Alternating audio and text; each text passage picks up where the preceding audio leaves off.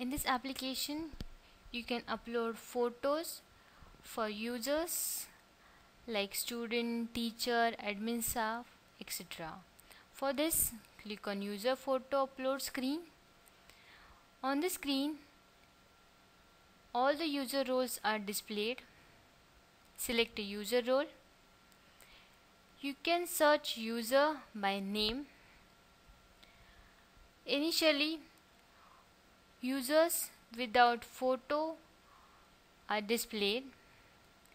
Unselect this checkbox and click on search. This will display all the users for the selected user role. Here you can upload photo by selecting a file available in the system or you can upload photo using webcam. select a photo by browsing click on a browse button. Select a path where photo is saved. Select a photo and click on open button.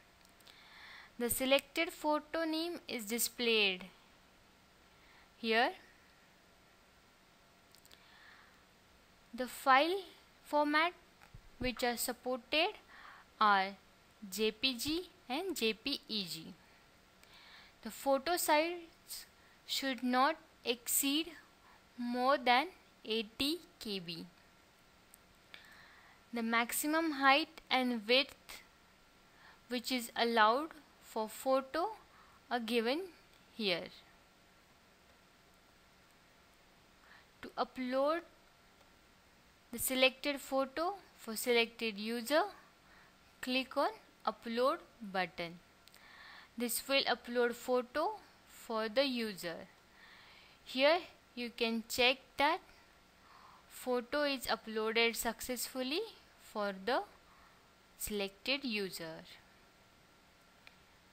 You can also upload photo using webcam. For this you need to connect webcam to your system and click on the option available under webcam column. Click on a menu. One pop-up will open to capture an image using webcam.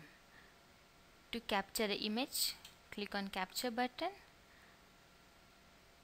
and submit the image. That image will be made available to upload and that row will be highlighted to indicate that photo is captured using webcam. Click on upload to upload the image using webcam. Here you can check that image is uploaded successfully. This is how we can upload images for different users